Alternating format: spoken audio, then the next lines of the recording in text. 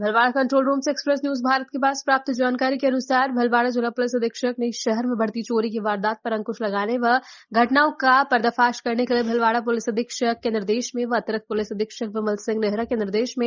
शहर पुलिस अधीक्षक और देशराज गुर्जर के सुपरविजन में तथा कोतवाली थानाधिकारी दिनेश कुमार जीवनानी के नेतृत्व में पुलिस टीम का गठन करके कार्रवाई की गई है जिसके तहत कोतवाली पुलिस थाना द्वारा चोरी के दो शातिर वाहन चोर व वाहन चोरी के खरीदार को गिरफ्तार करके पांच मोटरसाइकिल व एक एक्टिवा बरामद की है गिरफ्तार अभियुक्तों में सिंधु नगर निवासी तैतीस वर्षीय चंद्र प्रकाश उर्फ चिंकी पिता मनोहर लाल व मोहम्मदी कॉलोनी निवासी पैंतीस वर्षीय इलियास तथा गंगापुर थाना डेलाना निवासी अड़तीस वर्षीय नंदराम उर्फ नंदा लोहार को गिरफ्तार किया गया है